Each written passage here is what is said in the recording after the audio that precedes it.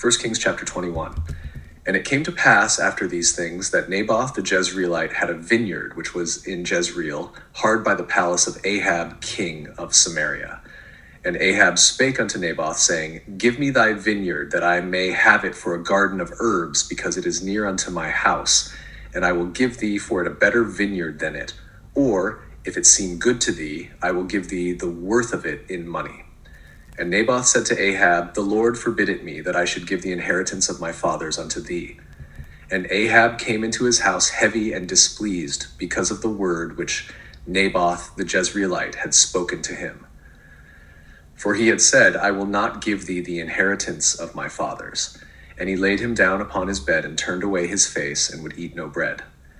But Jezebel his wife came to him and said unto him, Why is thy spirit so sad that thou eatest no bread? And he said unto her, Because I spake unto Naboth the Jezreelite, and said unto him, Give me thy vineyard for money, or else, if it please thee, I will give thee another vineyard for it. And he answered, I will not give thee my vineyard.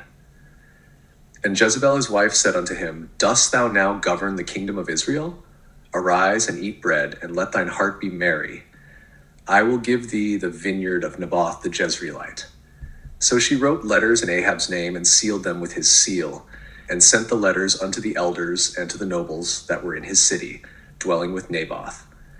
And she wrote in the letters, saying, Proclaim a fast, and set Naboth on high among the people, and set two men, sons of Belial, before him to bear witness against him, saying, Thou didst blaspheme God and the king, and then carry him out and stone him, that he may die. And the men of his city, even the elders and the nobles who were the inhabitants in his city did as Jezebel had sent unto them, and as it was written in the letters which she had sent unto them. They proclaimed a fast and set Naboth on high among the people. And there came in two men, children of Belial, and sat before him. And the men of Belial witnessed against him, even against Naboth, in the presence of the people, saying, Naboth did blaspheme God and the king. Then they carried him forth out of the city and stoned him with stones, that he died. Then they sent to Jezebel, saying, Naboth is stoned and is dead.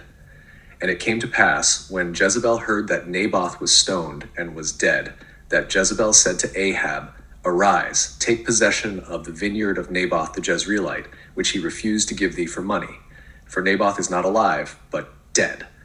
And it came to pass, when Ahab heard that Naboth was dead, that Ahab rose up to go down to the vineyard of Naboth the Jezreelite to take possession of it. And the word of the Lord came to Elijah the Tishbite, saying, Arise, go down to meet Ahab king of Israel, which is in Samaria. Behold, he is in the vineyard of Naboth, whither he is gone down to possess it. And thou shalt speak unto him, saying, Thus saith the Lord, Hast thou killed and also taken possession?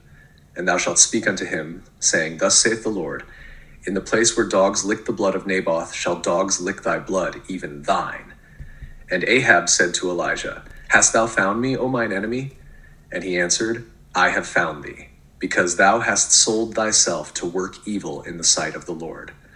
Behold, I will bring evil upon thee, and will take away thy posterity, and will cut off from Ahab him that pisseth against the wall, and him that is shut up and left in Israel and will make thine house like the house of Jeroboam the son of Nebat, and like the house of Baasha the son of Ahijah, for the provocation wherewith thou hast um, thou hast provoked me to anger and made Israel to sin. And of Jezebel also spake the Lord, saying, The dog shall eat Jezebel by the wall of Jezreel. Him that dieth of Ahab in the city the dog shall eat, and him that dieth in the field shall the fowls of the air eat. But there was none like unto Ahab, which did sell himself to work wickedness in the sight of the Lord, whom Jezebel his wife stirred up. And he did very abominably in following idols, according to all things as did the Amorites, whom the Lord cast out before the children of Israel.